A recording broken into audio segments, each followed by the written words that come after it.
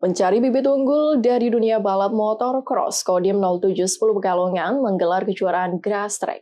Dalam ajang ini, ratusan peserta berlomba menjadi yang terbaik, seperti apa suasananya berikut liputannya.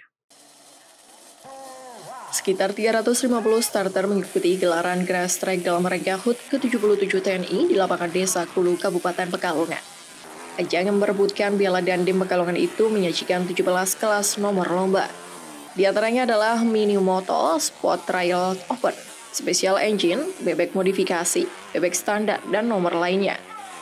Para crosser datang dari berbagai daerah seperti Yogyakarta, Kebumen, Banjarnegara, Klaten, sampai DKI Jakarta. Para pembalap harus menempuh jarak lintasan sepanjang 2 km dengan kontur sirkuit yang berlumpur. Tidak jarang para pembalap harus berjatuhan karena licinnya medan. Gelaran ini merupakan upaya Kodim 0710 mencari bibit unggul olahraga motocross.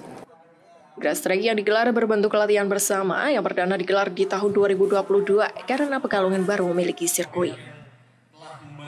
Diharapkan setelah kita laksanakan latihan bersama kali ini bisa ke depannya semakin maju lagi kegiatan motocross di Pekalongan ini. Jadi diikuti berapa peserta?